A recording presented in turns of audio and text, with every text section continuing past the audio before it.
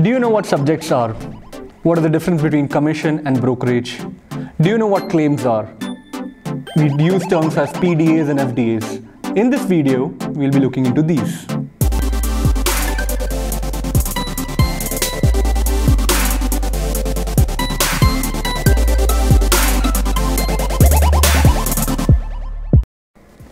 Hey, what's up? It's Akash from Shipscope, bringing you the best platform to learn about the commercial shipping subjects. In the previous Chartering 101 lecture series, we have learned about the basics of chartering, we've seen the, how the chartering process works, and in this lecture, we'll be looking into additional terms and used in chartering. If you're new here, consider subscribing at any point of the video. So let's get into it, shall we? Hi guys, welcome to Chartering 101 by Shipscope. So today's content, we are going to study about the charter party forms. We're going to see subjects in depth, followed by commission and brokerage. What are PDAs and FDAs? Stowage factor, relet and rider clause, time charter equivalent, and we will be seeing, we'll be finishing the lecture 3 by additional terms. So, charter party forms. A charter party form is a maritime contract between whom? Between the principals, which is ship owner and a charterer, to hire the ship or carriage of passengers or the cargo. Okay, it means that the charter party will clearly and unambiguously set out the rights and responsibilities of both the parties, which is ship owner and charterer. And if any dispute happens, and that will be settled in the court of law, and the, the terms will be looked into the agreed terms and conditions embodied in the charter party. Okay, that is where the charter party is so important. In the dry cargo segment, we have GENCON for voyage charter party, NYPE 93 is for time charter party in dry segment. As, as far as the tanker segment is concerned, we have ASBA Tank Voyage, Void for the voyage charter, and the Shell Time 4 for the time charter. We'll be looking into these charter parties in depth, especially with the, all the relevant clauses in our upcoming lectures. Okay. What are subjects? Now, we have already studied subject in our previous lecture, but this time we'll be looking into depth. As you know, subject means su subject to a certain condition. So the first thing is subject to details. This subject indicates that these are the main terms of the fixture which are be agreed upon. So which includes you know freight laydays load discharge port. So this all needs to be checked by the charterer when the ship is put on the subject.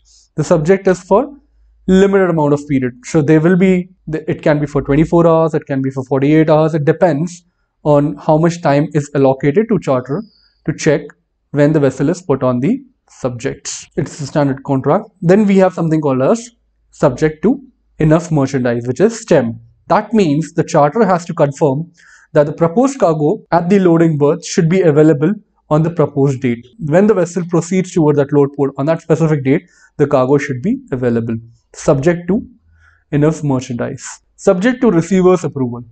The subject is used by charter to confirm that the cargo and the proposed vessel are acceptable to the receiver. Who, whomsoever is receiving, he needs to make sure that it is acceptable for them. And then we have at last called as owners and managers approval.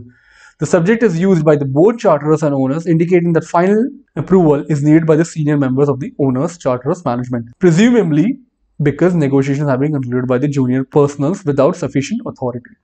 It also widely used by the owners who wish to check the background of the charters before committing themselves into the contract.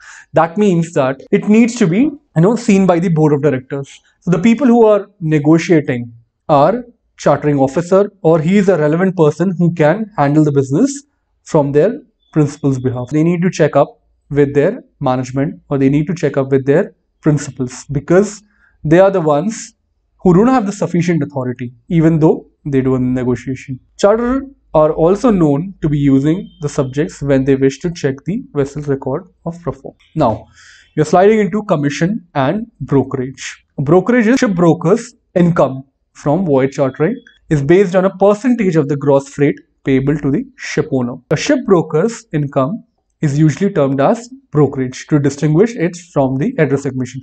So guys, address commission and brokerage are completely two different terms in which brokerage is mainly the ship broker's income and commission is for the charter as we will see. In deep sea market, brokerage normally amounts to 1.25% of the gross freight and is payable by the ship owner to the broker. That means ship owner is the one who pays the broker, which is termed as brokerage. In addition, ship broker may be entitled to an equivalent percentage of the gross amount on the dead freight or demurrage. What is an address commission? An address commission is between 1.25% to 5%, which is normally charged by the charterer and which is payable by the ship owner. Charter utilizing the brokers to protect their interests receives a service paid by the owners. It is termed as address commission and varies depending charterer's requirement. You guys must be a bit confused that, you know, if charterer is asking the ship owner to transfer his cargo from point A to point B, why is he charging address commission? It is something like if the charterer is giving or if he's rewarding the ship owner with the business, that is what his commission is. That is where he's charging 1.25 between 1.25 to 5%. And normally guys in negotiation, you know, most of the times the ship broker brokerage can be negotiated, but normally it is highly unlikely that address commission will be negotiated in a contract. Address commission is the fees paid by the vessel owner to the charter. The party who owns the cargo and employs a shipbroker who will find a proper ship to deliver the cargo. As a result, the total fees incurred by the charter are reduced by the amount of the address commission. What are PDAs and FDAs? We did touch upon these, but I'll discuss with you in depth about this. So we have PDAs pro forma disbursement account. Statement sent by the ship's agent at a port to the ship owner in advance of the ship's call at the port. So whenever a ship approaches a port, it needs to appoint an agent. And that agent is the one who sends an advance notice that what all things will be charged. So he just gives an intimation in terms of pro forma disbursement account. It consists of expenses that are likely to be incurred, including port charges, pilotage, towage, agent's commission. The port charges means when the ship goes to a, towards a berth, let's say a load port. So the berth charges, pilotage. What is pilotage? Pilotage is something like he's a specialized person, mostly an ex-seafarer, master or chief officer, who comes on board. He, he knows a lot about the local uh, waters. So he helps the ship to maneuver safely inside these local waters.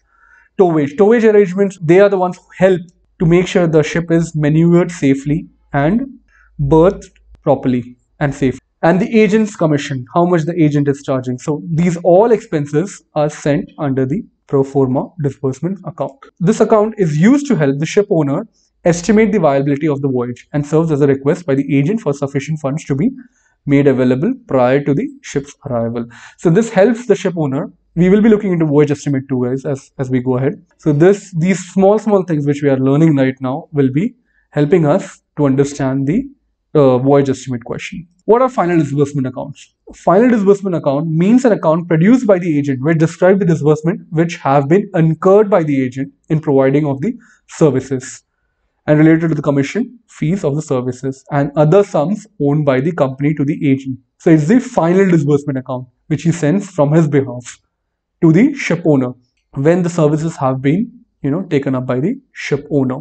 So we have stowage factor. The average cubic space occupied by one ton weight of the cargo as stored aboard the ship, normally described in terms of cubic meters, cubic feet per ton, meter cube by ton. Uh, the other dimensions which we use is we have grain capacity, we have bale capacity. So what is grain capacity? It is a total hold space available for any bulk cargoes and bale capacity is total hold space available for any backed cargoes. So I'll give you an instance where let's imagine the fact that there is a square shaped box okay so this is how the square shaped box is and we try to fill the box with sand so it will fill up fully but now if we try to make some uh, parcels and we we try to fill it up there will be some space which is available which is also known as broken stowage. If we pour grains into a hole it will occupy fully. But now if we try to bag those grains and then try to fill up the compartment there will be some amount of space which is which will remain. That is why the grain capacity is usually greater than the bale capacity. The vessel's cubic capacity is given in both grain and bale terms. The bale capacity is the volume that can be filled up with the boxes, which can consist of boxes, pallets, or bags. The grain capacity, which is always bigger than the bale capacity, which include all those spaces, those spaces are the broken stowage that can be filled up by the bulk cargo, such as grains or the fertilizers. Then again, two important concepts, guys, the relet and the relit clause. What is the relet clause? In multi-form voyage charter party, the relet clause gives the charter the option of subchartering the ship others. However, the original charter remains responsible to the owner under the head charter. The clause states the charter has the privilege of reletting or all of this charter party to the other. subject to owner's approval, first of all, which shall not be unreasonable, unreasonable withheld. Charters guaranteeing to the owner that the due fulfillment of the charter party. So I'll, I'll explain you what it means, guys. So it is generally applicable to time charter parties, number one. Because of this clause, the charter can relet or sublet the vessel to a third party. That third party is a charter. The clause reads that charter may sublet the vessel, but always remains responsible to the original owner which he had the contract or which he had the the fixture with for due fulfillment of this charter. Well, let me give you an example, guys, so you'll understand this relet in a, in a better fashion. So let's say that the original fixture between the, the charter and the ship owner, charter A and the ship owner, says that there is no trading for the North Korean waters. So the ship should not never trade in that.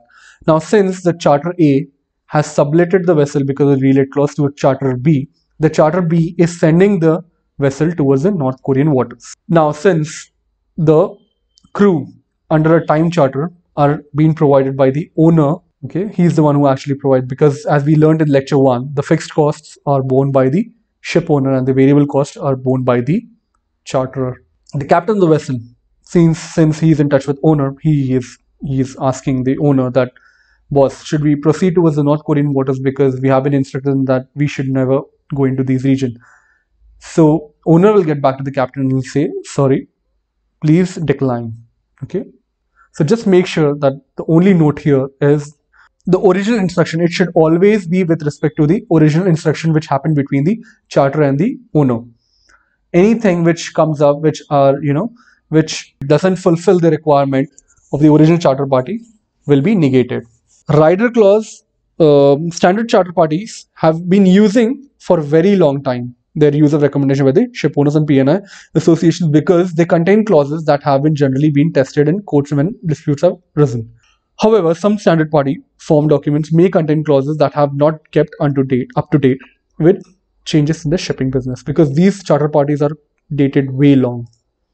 Apart from deviations, which is more modern, both ship owner and charters may also want to amend some standard terms and add terms which are specific to their own needs, which is called as the rider clause. If they're amending their own terms and condition in a charter party, it is termed as a rider clause. The clause in which uh, these added terms are contained are known as rider clauses. The phrase means that set of additional clauses which substitute or supplement the clauses to the original document. Standard charter parties forms are treated as a skeleton and what we fill up with the rider clause are termed as flesh of the contract. Now, in, in a case of dispute, the rider clause will always prevail. Okay, there is one more thing that, you know, when there is a dispute between the principals, which is ship owner and charterer, the rider clause will always prevail. What is a time charter equivalent? Time charter equivalent is rate, a standard shipping industry performance measure used to compare the period to period changes in a shipping company performance despite the change in the mix of charter types, which is spot, which is voyage charter, time charter, bareboat charter, under which the vessel may be employed between periods. In order to compute, how, how do we calculate the TCE is, it's the voyage revenues minus the net expenses available for the total amount of days taken. The time charter equivalent is equals to the freight multiplied by the cargo which is being carried minus the broker fees minus the total voyage costs which are variable costs divided by the total voyage days consumed. So that is what the time charter equivalent means. So finally, additional term. The first one is the in geographical rotation. If the charter have the option of loading or discharging a, a ship in several ports within a particular ranges, for example, ARH region, it is important to stipulate that if this option is exercised, the ship will be ordered to proceed to, to the ports in geographical rotation. So I'll give you an instance, guys, in order to understand this very, very easily. So let's imagine the fact that our vessel is heading towards a load port which is in Sikka, which is India, Gujarat. Okay, and the there are two discharge ports. One is in Singapore and one is in Hong Kong. So the vessel, if this term called as geographical rotation is put in the charter party, that means the vessel will always follow the load port, which is you know once it gets loaded in Sikka, it will follow to it will go to Singapore it will discharge the cargo and then it will go towards the Hong Kong, not the other way around that it can't go to Hong Kong and then come back again to Singapore because the vessel is supposed to follow the geographical rotation. That is what it means. And we have one more term which is called as ballast bonus. So charter may offer a ballast bonus in order to induce the ship owner to reach a load port. This is equivalent to taking the vessel under the time charter from its present position to the loading port. Again, I'll give you an instance to make you understand this clearer.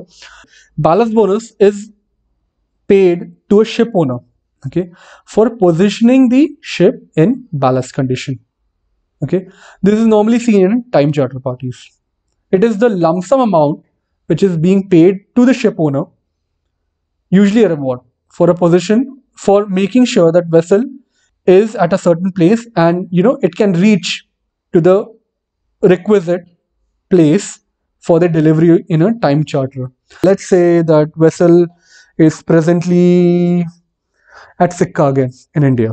Okay. And I mean, it is supposed to go into a time charter with charter A. The delivery is supposed to happen in Singapore.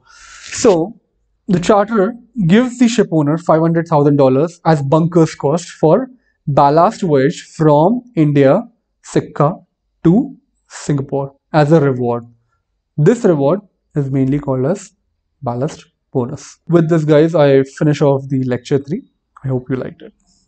Since we have finished the lecture 3, I would like to hear out the feedback and tips from you guys. So mention in the comment section below. If you like the video, hit the like button.